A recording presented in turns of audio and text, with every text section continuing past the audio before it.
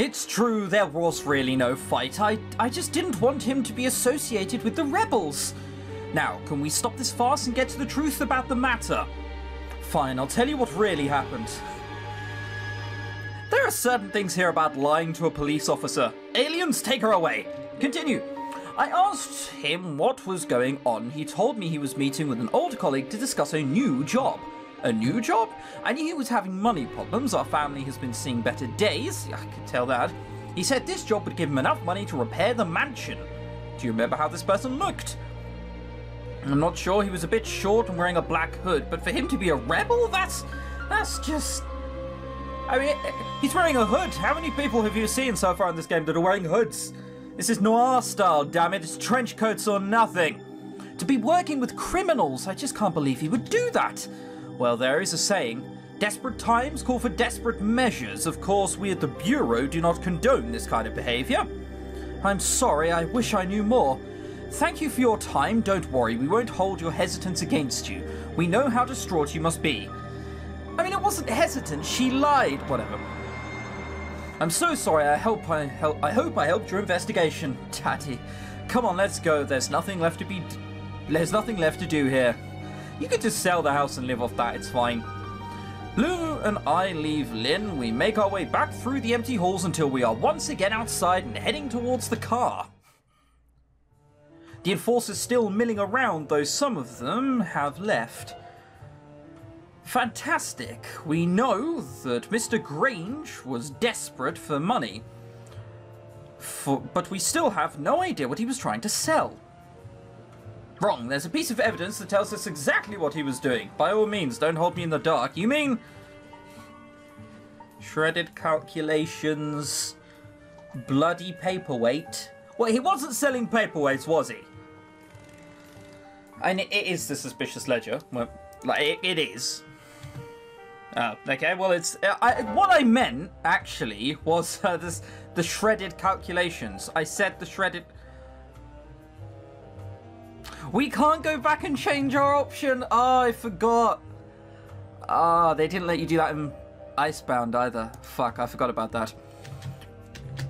Whatever. Sorry, but I'm stumped. Remember those shredded papers? What if he was doing right in? What if he was doing? Uh, what if what he was doing was right in front of us the whole time? Um, so he was making all that money doing calculations? Bingo. I don't understand what potential criminal would need such a thing. Bombs? I mean, that's just a that's just a start. Then you aren't thinking hard enough. What are rebels usually interested in? Technology. Why do you... Oh. All ancient tech has a computer inside. And computers are locked by passwords. Oh, yeah, that's what I meant, not bombs. Definitely meant Look, I'm right, okay? You don't need to know anything else. Then you think they hired Grange to... He'd probably have the ability to decrypt some of the more advanced codes that your run-of-the-mill rebel would have no idea what to do with.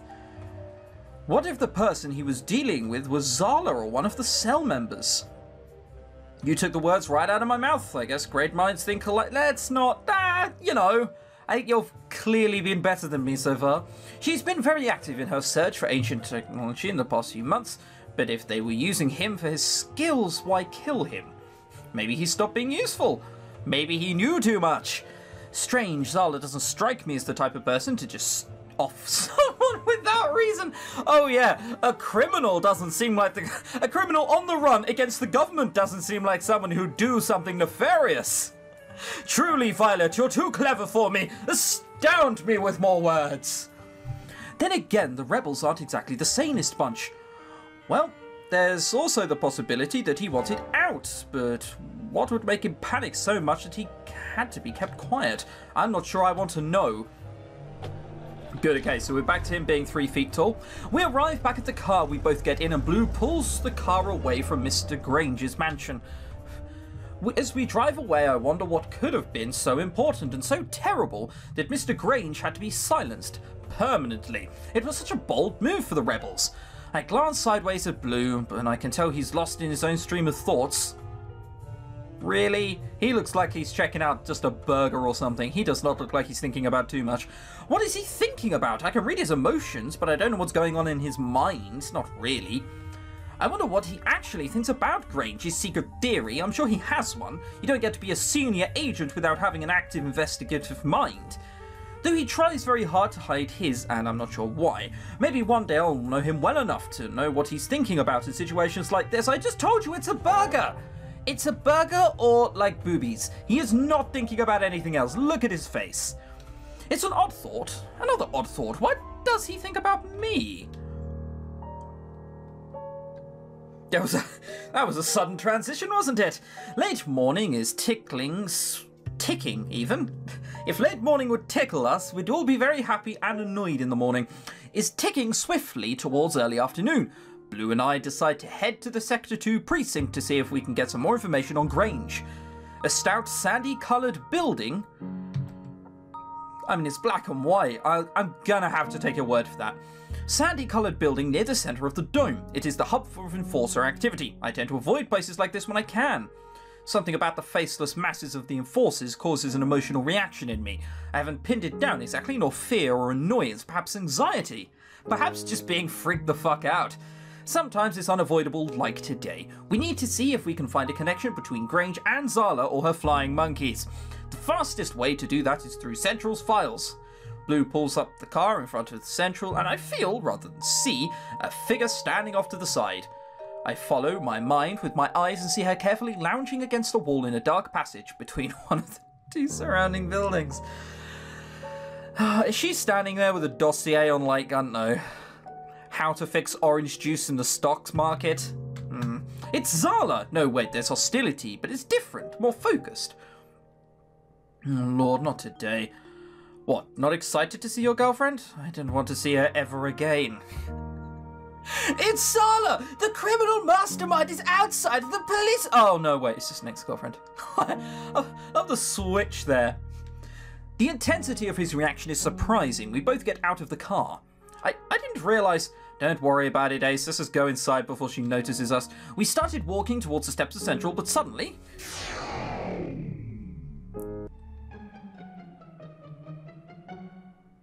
She can phase in and out. That. Also, I'm not gonna say slightly degrading for the police officers, but who the fuck came out with this uniform? Really? Like. you know what? We don't need them, but let's put cups here just in case. Like. Let, let's not accentuate anything in particular, hey? Blue, I always knew you were lazy, but I never thought you were blind too. Man, I wonder if, like, there are so many colours that you do have to get down to, like, car paint colours, you know? Oh, look, here comes British Racing Green over the hill. Uh, not that I blame you. If I had this newbie as my partner, I probably wouldn't have the stones to face any of my fellow agents either. The Distorter, okay. Sure. Well, I would have the stones, but you certainly wouldn't. Is she housebroken yet? Did we accidentally skip a line? We did. No, we didn't. That's the first thing she says. Excuse me. Beg pardon. Was my disdain not strong enough for you? I thought you could read people's minds. Not quite. I... Oh, right, you can't even do that, can you? I don't understand why the Bureau thinks you're special. As far as I'm concerned, you're useless. What's an Esper going to do? Feel me to death? No, but find out when you're... I'm just going to assume that she's probably some sort of killer. Stealth, there you go, that's why. She doesn't understand the more clever parts of police work. Red, leave her alone. Defending your puppy, Blue? If I were you, I'd miss having a partner with some real power, not some parlor trick. Violet is powerful enough, thank you very much. Why are you here, Red? I have something that might interest you, and what, pray tell, would that be? Just a few photos I don't need. If you're trying to get back into my good graces, it won't work, but hey, thanks for the offer. Even if I couldn't feel the embarrassment and anger rock Red's mind, I would be able to see it on her face. She looks really angry. Hang on, she doesn't look necessarily angry, she's actually reaching for her sword. That is a bad sign. Her snide grin turns into a snarl, twisting the sides of her mouth. While her cheeks colour ever so slightly, defensively she crosses her arms over her chest fool. If I meant to flaunt my body, it would not be in front of her. So you're saying if I weren't here, this would be a different story. Outside a police station. Shameless! Besides, I'm sure you remember it quite well already. Just hand it over. Red holds the pictures out to Blue, twitching back when he reaches out to grab them, taunting him before placing them into his hands. Are these Grange? How the hell did you get these? That's none of your beeswax. I'm going to assume illegally stealing. That's bull. You randomly getting on your, your hands on evidence pertaining to my investigation is very much my concern. Too bad life can be so disappointing, can't it? I'm not in the mood for this beating around the bush crap. I have my ways, you should know that by now. Forget it, just tell me who is who this is with Grange in the photo. Who's the rebel? How should I know? What do you think I am, psychic? Very funny, are you telling me that you didn't get them analysed? Doing the dirty work just isn't my style. I leave that for the puppies and the lazy old softies, right. Okay, I now see why you think we're useless. It makes sense. I didn't ask for your help, Red. I could never pass up the opportunity to make you look bad. No, you never could, could you? You're welcome. Stay out of my way, Red. Come on, Violet, we have work to do. See you the next time I do your job. Okay, so we have a few like new additions to the dossier, right? So we can check that out. Individuals. Red. This is just for people who want to read it. Uh, we definitely didn't do this. She's quick to panic. She has trouble hiding her real emotions. And then that's all we know there. Do we find anything out here? Probably not. See, because last time there was definitely one of those which had like a scroll that I forgot to scroll. So I think someone mentioned that they were trying to read it and I accidentally skipped past it. Large particular kinetic barrier mind probably there is like how it works. I think someone theorized that only like organic material, no, non-organic material could pass. I don't know. that anything that wasn't organic couldn't pass through, but that didn't make much sense because then how would we get in? And if it was the other way around, I've screwed this up completely, haven't I? If organic material couldn't get in, then how would we get in? And if non-organic material couldn't get in, how could you ever repair anything? You know, unless it was self-sufficient, as it was Switzerland. As we enter the precinct building, I feel like Red is still somewhere nearby, her eyes burning into the back of my head. Don't flatter yourself. She's unpleasant. yep, that's Red. Come on, let's go find the captain. Say that out loud when she's here. The waves of hostility that are rolling off of her are incredible. But at least she knows. At least I know she isn't corrupt. I'd hate to get on the bad side of someone like her. That sounds like foreshadowing. I wonder why she was so dismissive towards me. Is she usually this way, or was she trying to throw me off? She has to be hiding something. Blue's eyes widen, his face is going pale for some reason. What did you say? Oh, sorry, just thinking aloud again. Well, if you don't think it's important, I won't ask further. He thinks he has something as well. Okay, look, I can sort of understand why you're not cracking any of the cases here. Are you playing darts with nails into, like, empty pieces of paper? No wonder you're not. Oh, look, this is a... and this is how my bells felt at the latest festival after those mushrooms. Someone did a nice little picture of the city towers as well. We trek through the halls of the precinct, which are buzzing with the movement and chatter of enforcers. It smells like a mixture of sweat and some unidentifiable metallic odour, which could be guns or blood, I don't care to know which, when the crowd catches sight of me and Blue, it parts in front of us and quiets perceptibly. The few enforcers I catch staring at me quickly look away from my violet eyes. Something about our eye colour makes people a bit uneasy, even enforcers. Really? What? Eh, what, you gonna fucking shoot lasers at me? Why? The... Whatever. At the end of the hallway, we step into a large utilitarian office and are stopped by an enforcer behind a grey metal desk. Um, what is your business here? Agents Blue and Violet from the Bureau. We're here to see Captain Wells. Very well, one moment, please. The enforcer walks quickly back into a back room. I read that wrong. While Blue and I are left standing in the front office, I glance around the room. Don't be too nosy. You don't want these people to catch you whilst you're snooping around. It always looks weird. The walls are a sickly yellow, like skin that has not seen the sun for far too long. There are lines of portraits on the wall on either side of us. Our one side is labelled Our Fallen Heroes and has rows and rows of small portraits of half-mast half-mast enforcers. That's a bit dark. You can't keep files somewhere for that, can you? The opposite wall has far fewer portraits, but they're larger and bear the banner Our Fearless Leaders. Must be the former captains of the Enforcers. What, the ones who have died or the ones who have retired? Let's go retired, that sounds nicer. I look all the way to the right, right up to the current captain. The portrait is of a large man, his shoulders. Okay, so they're current ones, gotcha. His shoulders square and hunched as though he's trying to bend over something to fit inside the frame. The enforcer reappears and gestures for us to follow him. Him? That looks like lipstick and a ponytail from here, whatever. We head into the back and enter a small cluttered office. Okay, you look quite big. Soviet Russia rings true. Look, sir, I'm not saying you don't, but you ever visited a country called Arstotzka? I think you'd fit right in. The man from the last portrait is seated behind a desk that looks ridiculous next to his huge frame. He stands as we enter. These are the agents, sir. Thank you, Enforcer. You'd know if they were lying as well.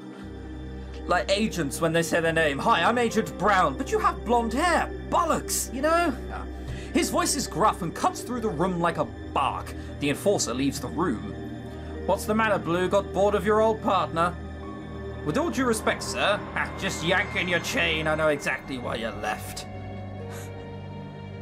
okay, so he's more like an American grr sort of general. Yeah, sure you do. So, who's the new girl? Violet, I'm guessing. The name's Harold G. Wells, but that's Captain Wells to you. Who introduces their initial? Hi, my name is Christopher P. Tenarium. no. The pleasure is all mine. You training her, Blue? Trying, Captain. Well, it's a busy day. What's this all about? Sir, we're looking into the Grange murder. Yeah, heard about that. What's the Bureau want with Grange? Not quite sure yet. That's what we're looking into. We were hoping you'd be able to help us out. Hmm. Any files you might have on Grange? Also, we just got to look some photo. We just got some photos. Maybe you should have your analysts take a look. We haven't had a chance to run by them by the bureaus, guys. Blue hands the photos to the Wells. Wells. to the Wells. Two Wells. Wells stares at them for a moment and shouts across the office Enforcer! I jump slightly at the noise and Blue's hand closes lightly on my wrist, his fingers pushing gently into my skin. The enforcer re enters the room. Take these photos down to anal analysis. Tell him I needed results five minutes ago. five minutes. They know that's probably going to be a lie. This looks like a well-run. I say that it doesn't look like a well-run organization as well at all, does it? There's shit just plastered everywhere. Yes, sir. The enforcer leaves the room with the, uh, with the photos, and Blue's hand lets go of my wrist and moves away. I can still feel the ghost of his fingers on my flesh. They'll come up with something in a few minutes. Thank you, we appreciate the assistance. What are you thinking? Uh, I mean, who do you think that is in the photo with Grange? None of your beeswax? That's a terrible thing to say. That is almost certainly not the one we're going for. The other two, I'm unsure of. Well, let you guys decide. What, what one do you want me to say? I'm not at liberty to say. We might have an idea. None of your beeswax. Decide and we'll do that next episode.